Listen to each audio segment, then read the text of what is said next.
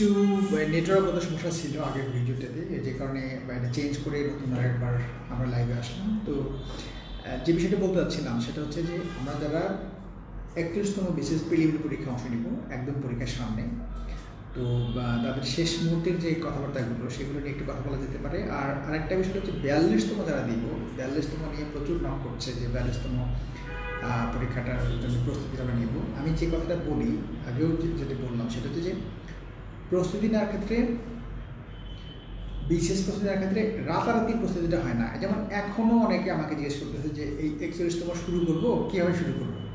তো এই কথাটা হাস্যকর নয় যে পরীক্ষার মাত্র, মার্চে নাই হোক, মার্চে যদি নাও হয় এপ্রিলে যদি পরীক্ষাটা হয়। তো হাতে সময় একদম নাই। তো এক থেকে দুই মাসের মধ্যে কীভাবে এই প্রস্তুতিটা কমপ্লিট করা যায়? তো এইরকম তো খুব টাফ হয়ে যাবে। এটা খুব ডিফিকাল্ট যে এক থেকে দুই মাসের মধ্যে প্রস্তুতি নেওয়াটা। তো ওই জন্য যেটা বলছি যে বিয়াল্লিশতম শুরু করতে হয়, তাহলে এটা শুরু করতে হবে আগে থেকে। বেশ আগে থেকেই আমি যেটা বলি সেটা হচ্ছে যে এই বিশেষ প্রস্তুতিটা শুরু করতে হয় ন্যূনতম আট মাস আগে থেকে। সো আট থেকে এক বছরের মধ্যে শুরু করা শুরু করা গেলে এবং একটা মানে গুছিয়ে যদি প্রস্তুতি শুরু করা যায়, তাহলে কিন্তু প্রথমবারই কাটার হওয়ার একটা বড় ধরনের সুযোগ থাকে। একবারে বিশেষ কাটার পাওয়া যায়, প্রথমবার দিয়ে প্রথমবারই কাটার পাওয়া যায়। ইভেন মাস্টার্স না করেও বিশেষ কাটার পাওয়া যায়। ভুড়ি ভুড়ি রেকর্ড আছে। বাট সেটার জন্য যেটা করতে হবে যে হঠাৎ করে পড়াশোনা শুরু করে দিয়ে পরীক্ষার সার্কুলার হলো তখন পড়াশোনা শুরু করে দিলাম বাট আগে থেকে পড়ি না। এইটা ডেঞ্জারাস এটা চেঞ্জ করতে হবে, সেটা হচ্ছে যে শুরু করতে হবে অনেক আগে থেকে। যেমন বিয়াল্লিশতম সামনে যে সময়টা আছে, এই সময়টা যদি শুরু করতে কেউ চায়, তাহলে আমার মনে হয় যে এখন থেকে তার অ্যাডভান্স পড়াশোনা করতে হবে বিয়াল্লিশতমের জন্য। তাহলে সে বিয়াল্লিশতমতেই সে কাটার হয়ে যাবে। সো ওটা নিয়ে আমি একটু বলতে চাচ্ছিলাম যে বিয়াল্লিশতম যারা শুরু করবে, আমাকে প্রচুর নক করছে যে এটা কি কবে থেকে শুরু করব লাইভ কবে শুরু করব। তো শুধু শুধু লাইভ দিলে তো আর বিশেষ কাটার হওয়া যাবে না। এটাকে প্র্যাকটিক্যালি এটা কাজে লাগাতে হবে। প্র্যাকটিক্যালি এটা ইমপ্লিমেন্ট করতে হবে পড়াশোনাটা। পড়তে হবে এবং প্র্যাকটিক্যালি সেটা ধরে রাখতে হবে। এবং এটা যেন দীর্ঘমেয়াদী ধরে রাখা যায়, সেই পদ্ধতি হাতে নিতে হবে। শ্রমটা হবে সেইভাবে। সো এখানে অনেক কৌশলগত ব্যাপার আছে।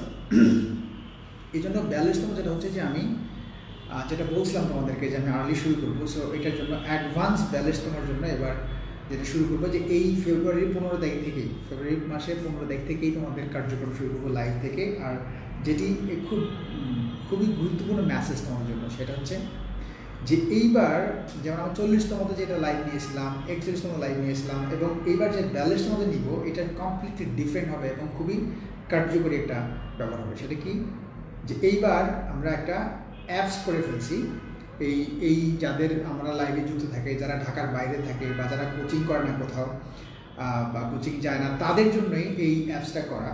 যে এই অ্যাপসটার মাধ্যমে যেটা হচ্ছে কিছু ব্যাপার থাকে খুব মানে ফ্রি মতো, আবার কিছু থাকে কিছু পেমেন্ট করতে হবে। সো একদম পুরো বিয়াল্লিশটা এক বছরে কীভাবে করতে হবে বিয়াল্লিশতম প্রিন্ট কীভাবে প্রস্তুতিটা এক বছরে নিতে হবে? কীভাবে বাসায় পড়তে হবে? কতটুকু বাসায় পড়তে হবে? কি কি পড়তে হবে এবং তার উপর পরীক্ষাগুলোতে শুরু করে এবং ক্লাস অনলাইন ক্লাসগুলো শুরু থেকে আমার ক্লাস বা অন্যান্য স্যারদের ক্লাসগুলো শুরু করে প্রায় দুইশোটার মতো ক্লাস অনলাইন ক্লাস সেখানে থাকবে। দুইশো অনলাইন ক্লাস পরীক্ষা, চল্লিশটা পরীক্ষা।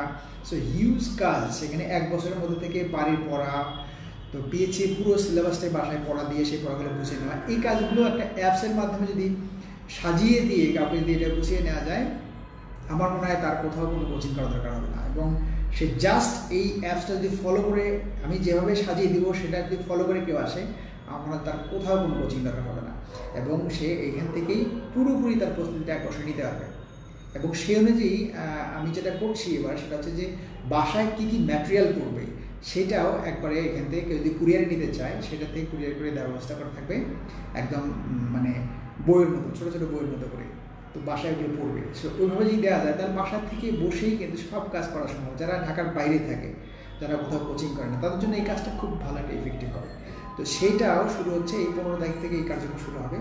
তো আমাদের অ্যাপসের যেটা থাকে, যে অ্যাপসের তোমরা জানো যে আমাদের অ্যাপসটায় যে গুগল প্লে স্টোর থেকে এমআইপি জব স্টাডি এখানে সার্চ দিলে তোমরা পেয়ে যাবে। এটা সাবস্ক্রাইব করে রাখো। পনেরো তারিখ থেকে এটা, এটার কার্যক্রম শুরু করে দেওয়া হবে। আর এখানে আমরা যে অনলাইন যে লাইভ শুরু সেটাও পনেরো তারিখ থেকে শুরু করব।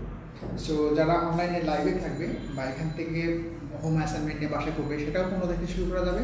আর যারা অ্যাপসের মাধ্যমে একদম সরাসরি ক্লাস করাতে শুরু করে যাবতীয় এক বছর একটা কাজটা ফলো করবে, তারা অ্যাপস থেকেই তোমরা এই কাজটা করতে পারবে। তো এটা একদম একেবারেই বাসায় বসে কোচিং এই কাজটা হবে। তো এটা হচ্ছে যে একটা মেসেজ আর আরেকটা মেসেজ হচ্ছে যে তোমরা যারা একচল্লিশ পরীক্ষা দিচ্ছে এবার তো তাদের ইয়ে থাকে যে শেষ সময়ের প্রস্তুতিটা কীভাবে নেবে? আচ্ছা আমি আবারও ওই প্রবলেমটাই দেখতে পাচ্ছি, সেটা হচ্ছে যে এই মানে এখানে আমার মনে যে মেসেজগুলো আসতেছেন তোমাদের মেসেজগুলো দেখতে পাচ্ছি না। মেসেজগুলো কেন দেখতে পাচ্ছি না, এটা একটা প্রবলেম হচ্ছে না কেন হচ্ছে এটা?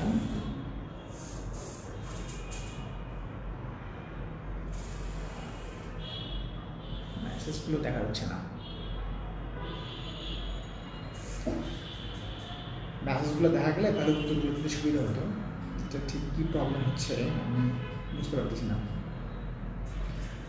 আচ্ছা আমি মেসেজগুলো দেখতে পেলে ভালো হইতো। ভিডিও একবার কেটে দিয়েছি মানে লাইভ আবার কেটে দিয়েছি, আবার শুরু করছি। এই মুহূর্তে তোমরা কীভাবে পড়ব? একচল্লিশ যারা আছে, তাদের এই এই প্রশ্নটা উত্তরটা নিতে পারছি না, যে এই মেসেজটা মনে করা যাচ্ছে না। আমি এই লাইভটা আবার কেটে দিচ্ছি, তোমাদের মানে আবার কেটে দিয়ে মেসেজ সিস্টেম ঠিক করে আমি আবার লাইভটা দিচ্ছি। আমার মনে হয় যে বারবার কাটাকাটি হয়ে যাচ্ছে। যে কারণ এই তোমাদের মেসেজটা বুঝে সেই বিষয়ে কথা বললে ভালো হবে।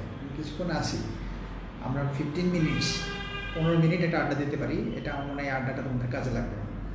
আমি দেখি মেসেজটা ঠিক করতে পারি কিনা। একটু দেখে তোমাদের আবার লাইভ দিচ্ছি